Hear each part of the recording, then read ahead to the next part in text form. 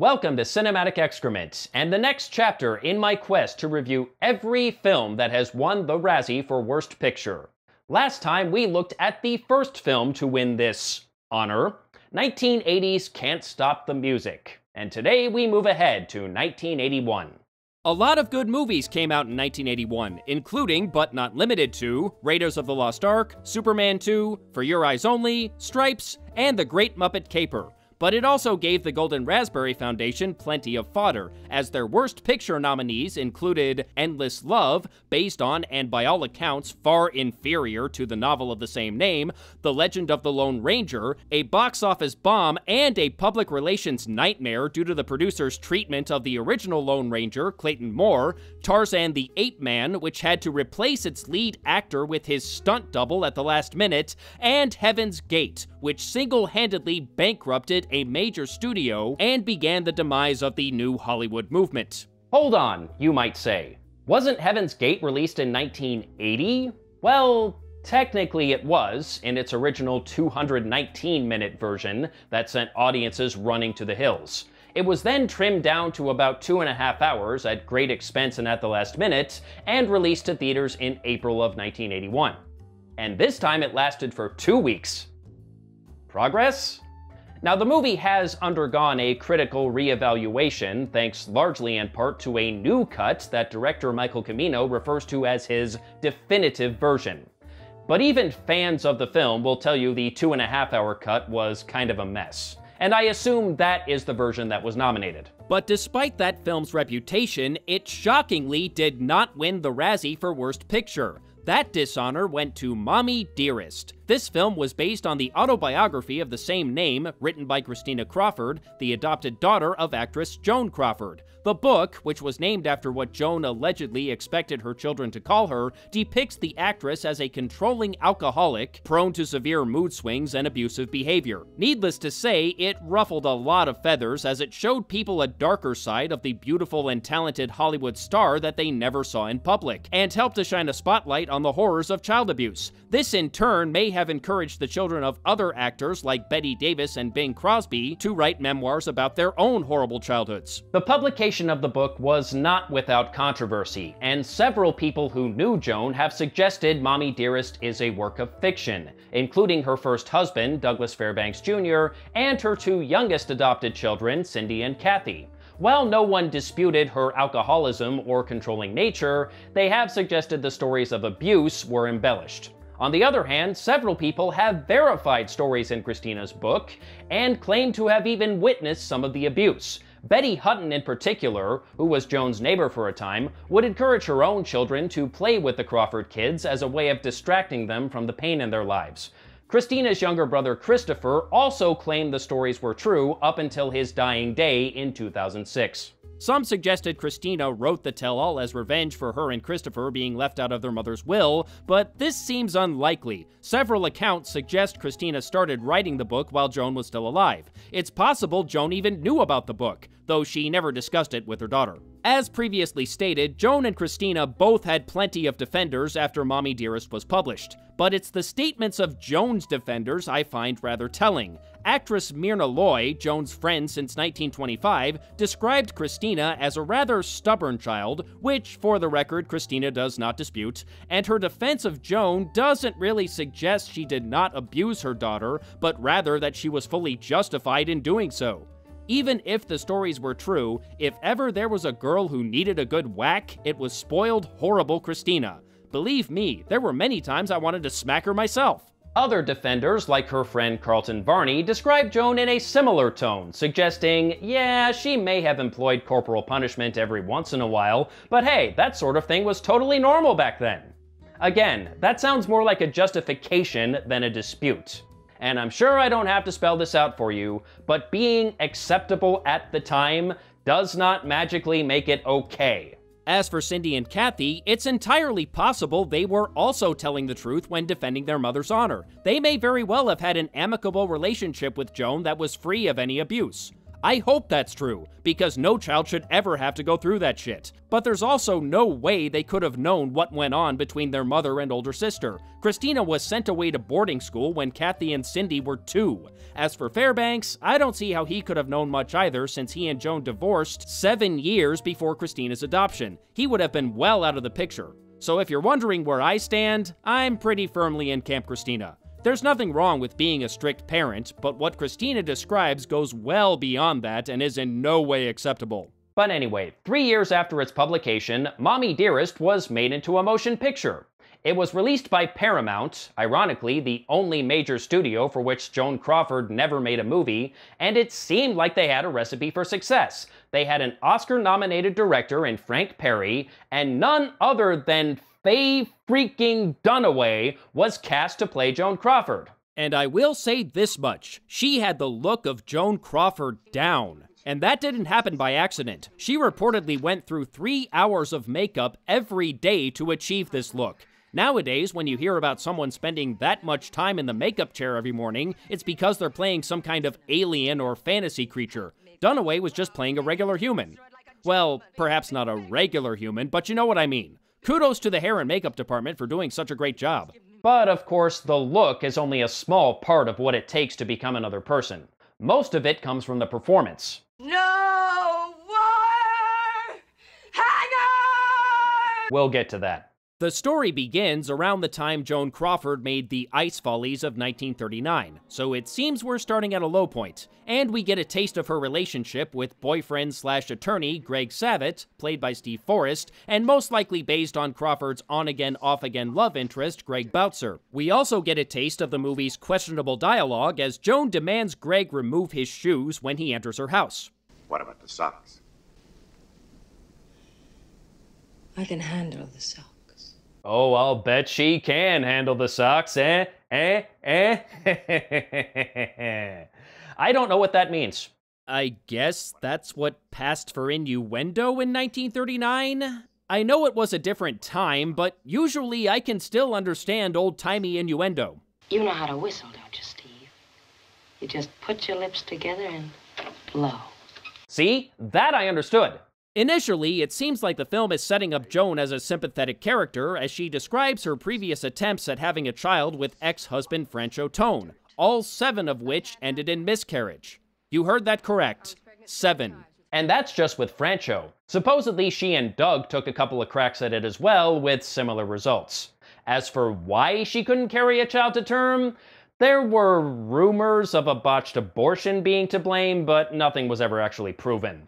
But regardless of the reason, I would not wish seven miscarriages on anyone. So she's finally ready to throw in the towel on giving birth, but still wants a child. Unfortunately, in the state of California, the laws at the time pretty much made it impossible for a twice divorced working woman to adopt a child. And Joan handles this setback with all the grace and poise of a tightrope walker with Parkinson's.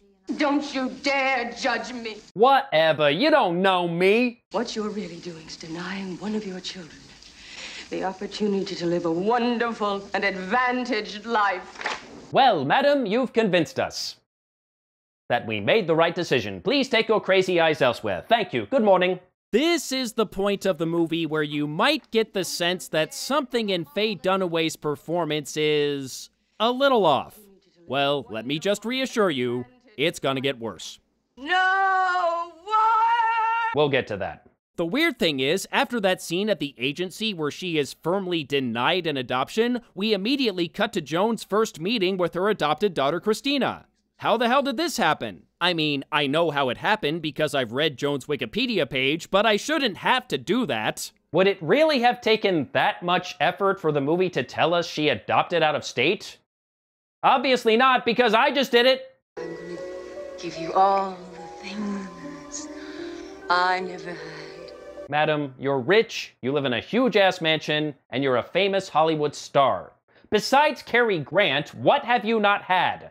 And from there, we fast forward a few years and pretty much go straight into little Christina's unhappy childhood. It starts off well enough with a birthday party for which the term extravagant seems woefully inadequate, but then, just as she's about to enjoy all of her presents, Joan informs Christina that she can only keep one. The rest are going to the orphans.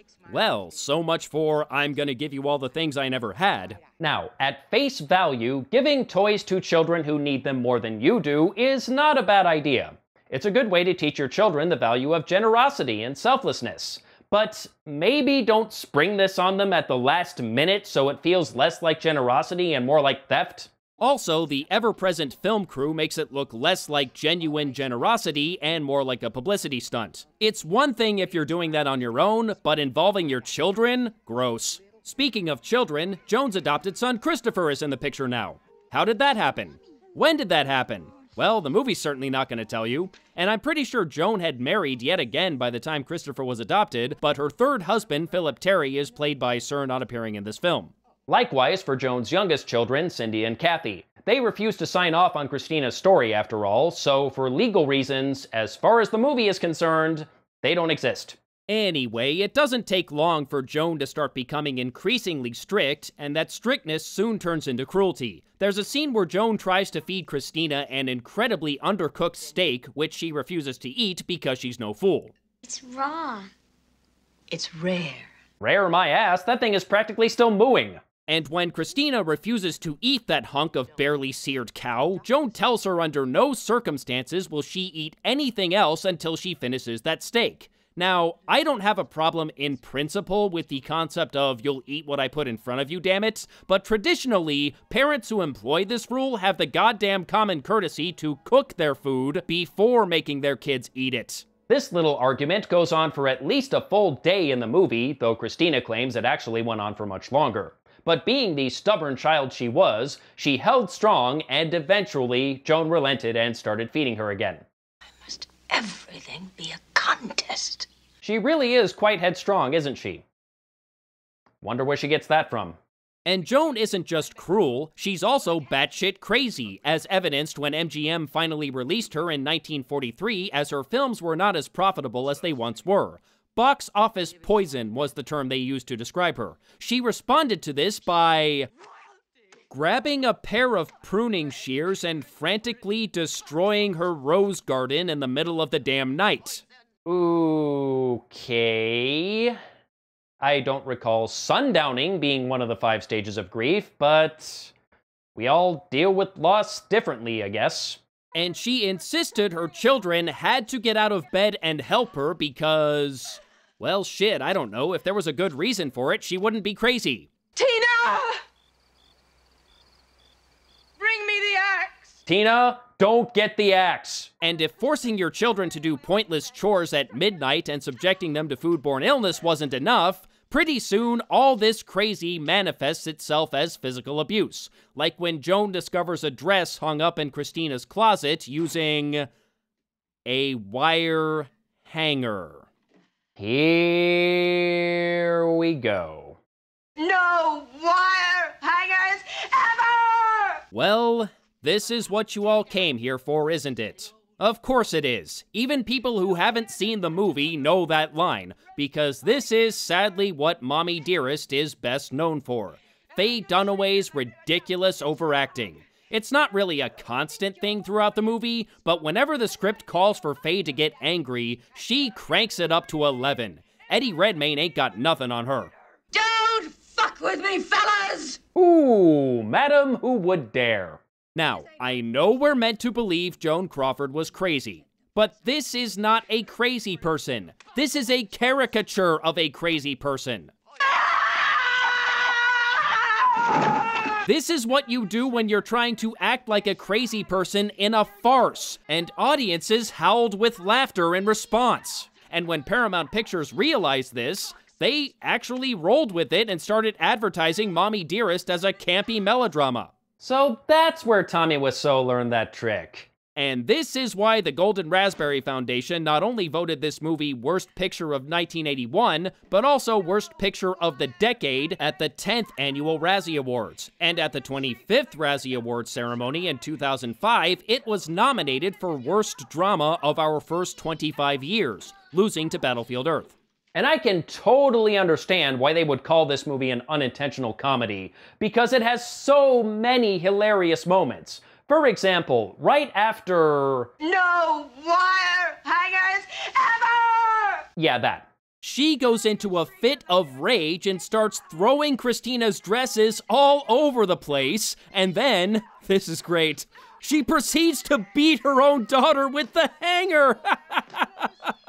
oh, wait, wait, it gets better. Then she starts complaining that Christina's bathroom isn't clean enough, so she drags her daughter out of bed so she can scrub the floor in the middle of the night, and she beats her with the can of Ajax. oh, God, that's hysterical. Oh, but there's more. Oh, there is so much more. This is great. You're going to love this. Years later, when Christina is a teenager, she gets shipped off to boarding school because if you're going to be a shitty parent, you might as well go all out. And she gets caught in a compromising position with the boy. Nothing actually happens, but I guess Joan decides the school isn't punishing her enough, so she pulls her daughter out. And then she tells a reporter her daughter was expelled, and when Christina calls her on her bullshit in front of the reporter, wait for it Joan tries to strangle her to death. oh my god, look at that. She's trying to kill her own daughter. She's trying to choke the life out of her. Oh my god. And they have to pull her off her because she's gone completely psycho. oh god. She almost died. Oh, now that's comedy. That is funny. That is totally funny. ah. Good times, good times. So anyway, Getting back to Dunaway's performance, it is. That was sarcasm, by the way. I know it's hard to tell sometimes because we are living in the dumbest period in history, but that was actually sarcasm, okay? Just want to make sure we're on the same page. Where was I? Oh, yes. Getting back to Dunaway's performance, it is pretty bad at times, but that's true of most performances in the film. Steve Forrest went over the top himself once or twice. Diana Scarwid, who plays grown up Christina, was mostly underacting, which was quite the contrast with Dunaway's overacting. And Mara Hobel, who played young Christina in her film debut, well, suffice to say, you could tell it was her film debut. It's not a surprise this movie scored four Razzie acting nominations and won three. Dunaway refused to talk about Mommie Dearest in interviews, though she did briefly mention it in her autobiography and basically blamed director Frank Perry for not knowing when to reel in her performance. And while that may sound like passing the buck, given that the other actors didn't do so well either, she may have a point there. Then again, that could also be the ego talking. Dunaway did have a reputation for being a diva on set. Rutanya Alda, who plays Crawford's nanny, Carol Ann, wrote a tell-all book about what went on behind the scenes while making Mommie Dearest. That's right, a tell-all book about a movie based on a tell-all book. Do I really have to say it? Oh, fine. Tell allception. According to Alda, Dunaway got perhaps a little too absorbed in the part of Joan Crawford. She was very demanding on set, throwing the odd tantrum, constantly berating the hair and makeup people who worked on her image, insisting she have as much solo screen time as possible, even if it came at the expense of other actors, and it often did, and forcing actors who were not in the shot to turn their backs since she couldn't stand to have an audience. The cast and crew were constantly gossiping about Faye's erratic behavior, and costume designer Irene Sharaff eventually got sick of her shit and walked off the set. So with that in mind, you'll pardon me if I have trouble feeling sympathy for Dunaway for any damage this movie did to her reputation. Sounds to me like she brought it on herself. I will say the acting isn't all bad. There's a scene that takes place after Crawford was let go by Warner Brothers, and for the first time, she actually appears vulnerable. This woman, who has always been driven and determined and in total control of everything, suddenly has no idea what to do with her life. She is completely lost and helpless. And to her credit, Dunaway totally sells it. Scared.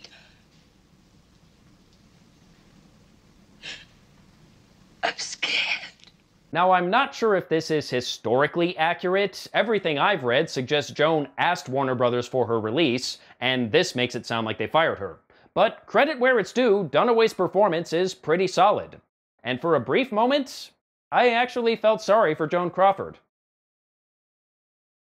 The movie has moments of greatness. And for what it's worth, she's also pretty good at playing shit-faced Joan Crawford. She's a much better drunk than Psycho. Well, as Christina grows up, like her mother, she takes an interest in acting, and eventually she lands a part in a soap opera. But just as things are going well, life throws her a curveball. She develops an ovarian tumor that requires surgery, which puts her on the shelf for a while. And Joan, not wanting the network to replace Christina with someone else, suggests something rather odd. She will fill in for Christina on the show until she is able to return. Oh, come on. Do they really expect us to buy that? Christina was in her 20s at the time, and so was her character on the show, and Joan was over 60. There is no way they would agree to something like that. Come on, the movie's just fucking with us now. Let's look at Wikipedia and find out what really happened, shall we?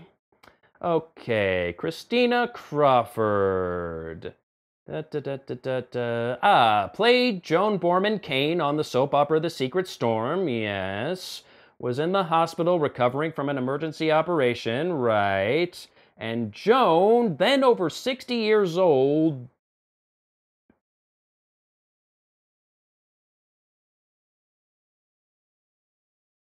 You have got to be kidding me! That actually happened? No. No. How? Why would CBS agree to something like this? Did they really think people would buy Joan freaking Crawford as a 24 year old? What must the viewers have been thinking? Were they terribly confused? Howling with laughter? Or did they just throw their hands up and roll with it? I have no idea. Joan only appeared on four episodes of The Secret Storm, and then the character was written off the show until Christina was healthy enough to return.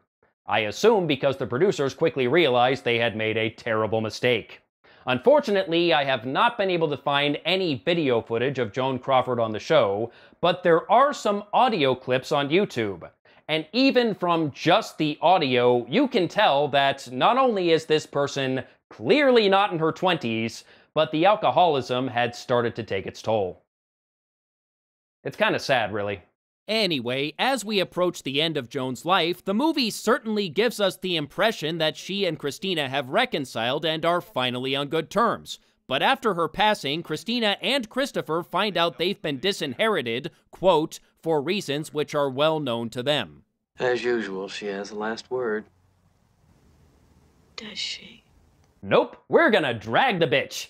And that's Mommie Dearest, winner of five Razzies, including Worst Actress, Worst Supporting Actor, Worst Supporting Actress, Worst Screenplay, and Worst Picture of 1981. I honestly can't argue with the screenplay or acting awards. It had some terrible dialogue, and the performances were various levels of ineptitude.